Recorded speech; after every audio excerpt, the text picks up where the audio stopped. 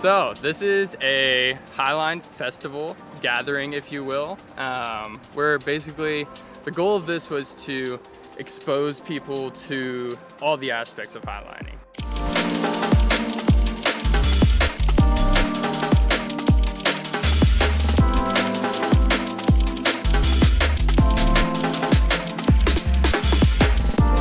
This community is so special because in every other sport it feels like there's some sort of competition but here it feels like everybody is just wanting everybody else to succeed. The thing that made this special for me, it like made me tear up multiple times, It's just putting everything together and watching everybody actually show up. I caught the bug and I've been highlining pretty much nonstop since August last year.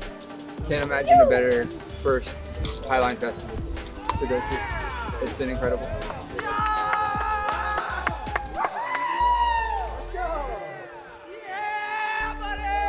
I'm from Austin, Texas.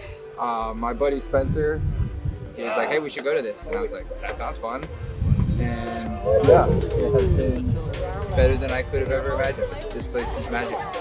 The SWAT community is so cool. Like everyone that you meet is awesome and so excited to like help you do cool things and then you reciprocate and like everybody has a good time take every opportunity you have to do something crazy and do things you're not so comfortable with. It's about confidence and making yourself believe in yourself and do things that you never thought you could.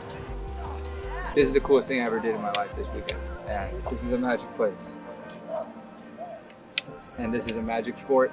Everyone should do it. Come Highline.